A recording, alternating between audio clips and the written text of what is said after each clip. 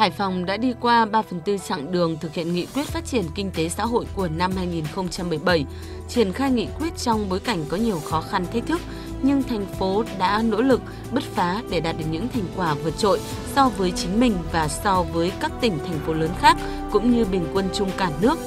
Những kết quả nổi bật về kinh tế xã hội rất đáng trân trọng, ghi nhận sự chuyển động đáng mừng của cả bộ máy và sự chung sức đồng lòng của nhân dân. Hải Phòng đang chính thức bước vào thời kỳ phát triển mạnh mẽ.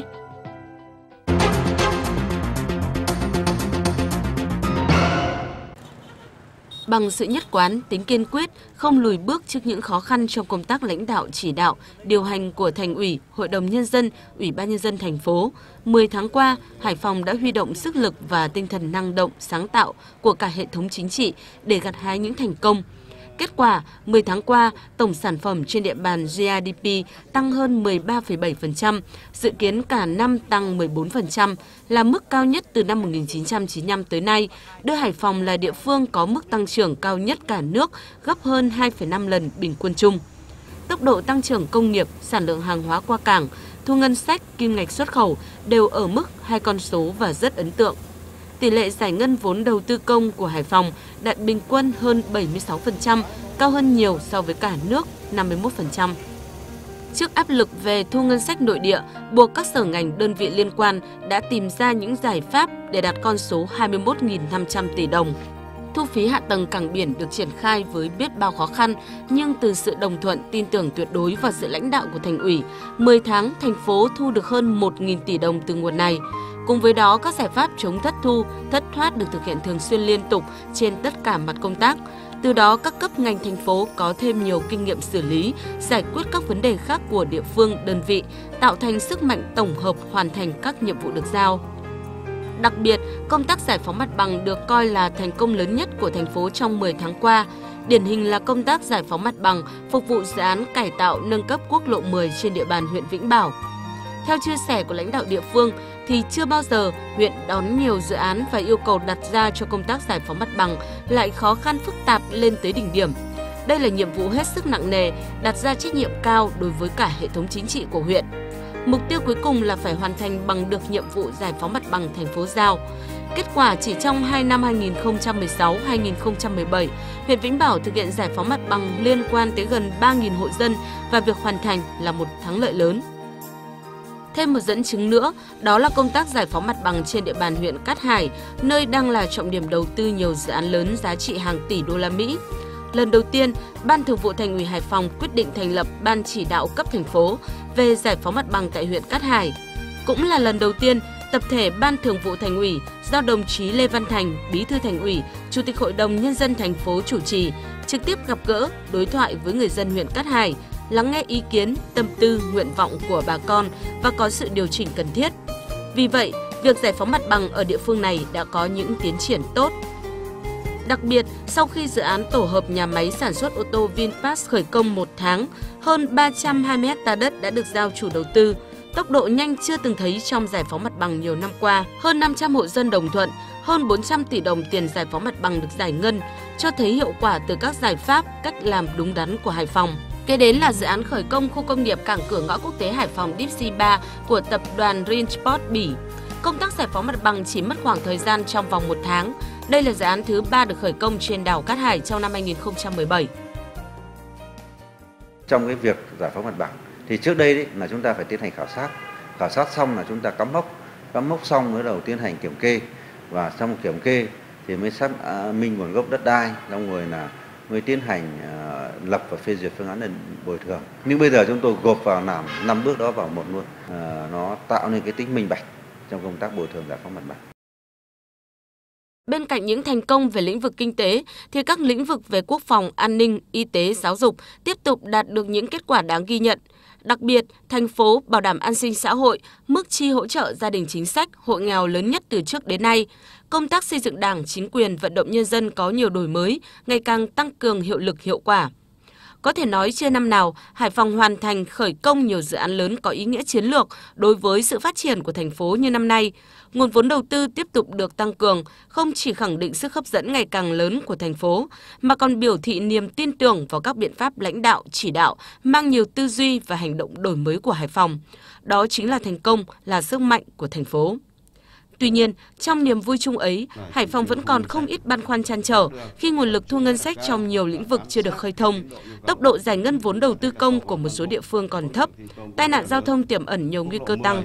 Một loạt những tồn tại trên đã được đồng chí Lê Văn Thành, Ủy viên Trung ương Đảng, Bí thư Thành ủy, Chủ tịch Hội đồng nhân dân thành phố thẳng thắn chỉ ra tại phiên họp hội nghị Thành ủy vừa qua.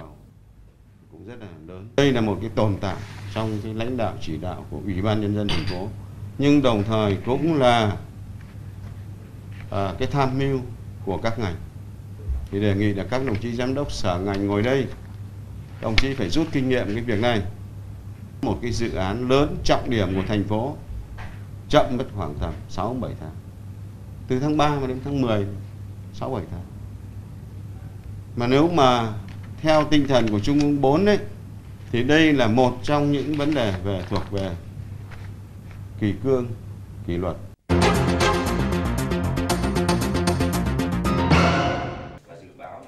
Đâu là giải pháp để Hải Phòng có thể khắc phục được những tồn tại và hoàn thành tốt các chỉ tiêu mà nghị quyết về phát triển kinh tế xã hội năm 2017 đề ra? Đây là yêu cầu đặt ra cần đổi mới mạnh mẽ hơn nữa phương thức lãnh đạo, chỉ đạo, điều hành theo hướng tích cực, hiệu quả cao, tránh hình thức, phát huy tốt vai trò trách nhiệm của người đứng đầu trong thực hiện nhiệm vụ mà đồng chí Lê Văn Thành, Ủy viên Trung ương Đảng, Bí thư Thành ủy, Chủ tịch Hội đồng nhân dân thành phố chỉ đạo các sở ngành địa phương trong thời gian tới. Tôi đề nghị tinh thần trước hết là các ngành, nhất là kế hoạch đầu tư công chí cho giả soát, giả soát tất cả các cái chỉ tiêu để chúng ta bảo đảm rằng là cái năm 2017 là chúng ta hoàn thành toàn diện các cái chỉ tiêu kinh tế xã hội. Và trong các chỉ tiêu thì tôi đề nghị riêng thu ngân sách năm nay là chúng ta phải phấn đấu 22.000 tỷ đồng. Thứ hai là chúng ta tiếp tục tập trung cao để giải phóng mặt bằng. Đề nghị là Ủy ban Nhân dân thành phố rồi Sở Tài nguyên Môi trường, các ông chí vừa rồi cũng đã có cái thành công rồi, làm rất là tốt rồi. Nhưng mà hiện nay vẫn còn một số chỗ đang rất cần cái tập trung lãnh đạo chỉ đạo vấn đề Tôi nói ví dụ như cái cầu Vũ Yên Bây giờ cho Vingroup là đầu tư cây cầu vào cái phía bên đường của Vũ Yên gần 1 ngàn tỷ. Cho V-Ship đầu tư toàn bộ tuyến đường. Như vậy thành phố chúng ta không có bỏ cái gì ra. Tiền giải phóng mặt bằng là do V-Ship chịu. Chúng ta tập trung công sức vào chúng ta giải phóng chúng ta có một con đường, có một cây cầu, có một khu du lịch. Giải quyết hàng nghìn việc làm cho nhân dân. Thì tôi đề nghị cái này Ủy ban Nhân dân thành phố các ông chí chỉ đạo quyết liệt cho để làm sao mà trước Tết âm lịch chúng ta khánh thành cây cầu này. Trọng tâm thứ ba đấy là chúng ta tiếp tục tập trung cao để khánh thành các công trình trong tháng 11. Một là cầu Nguyễn Bình Khiêm, tiến độ công chí cam kết là khánh thành trong tháng 11. Cầu Hàn Cầu Đăng khánh thành trong tháng 12, cơ bản trong tháng 11 hoàn thành. Quốc độ 10 chúng ta hoàn thành được như thế này cũng sẽ khánh thành trong tháng 11 tháng 12. Thế rồi chúng ta tập trung đẩy mạnh cái cầu Nguyễn Trãi. Bây giờ Thủ tướng cũng đã có đầy đủ hồ sơ văn bản rồi, đồng ý cho chúng ta triển khai cái này vào ODA vào năm 2018 rồi. Bây giờ tiến độ nhanh hay chậm là phụ thuộc vào thành phố Hải Phòng. Thì đề nghị là Ủy ban Nhân dân thành phố chúng ta tập trung cao vào cái này. Thì cây cầu này vào cùng với lại cái cầu Hoàng Văn Thụ rồi cùng với Bắc Sông Cấm rất là tốt. Thế rồi các cái công trình mà Thủ tướng đã đồng ý rồi ấy, thì tôi cũng đề nghị là Ủy ban Nhân dân thành phố các ông chí bám sát cho. Bây giờ cái cầu à, cầu Tân Vũ Lạch huyện 2 này. Là đồng ý rồi, sân bay Cát Bi giai đoạn 2 này, cũng đồng ý rồi. Thế nhưng mà các sở ngành cần có phân công cụ thể. Một cái điểm cuối cùng, tập trung toàn bộ để mà tổ chức thành công cái kỳ họp Hội đồng Nhân dân thành phố vào đầu tháng 12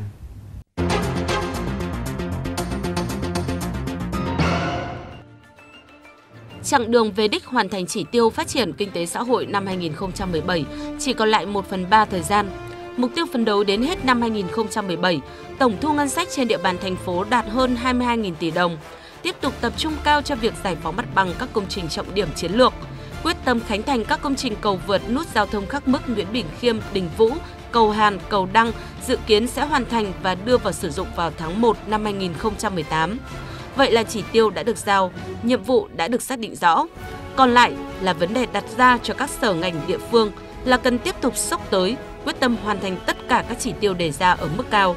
Và đây chính là tiền đề để Hải Phòng xây dựng và phát triển thành phố trở thành trung tâm kinh tế mạnh của cả nước, nơi đột phá của khu vực Bắc Bộ.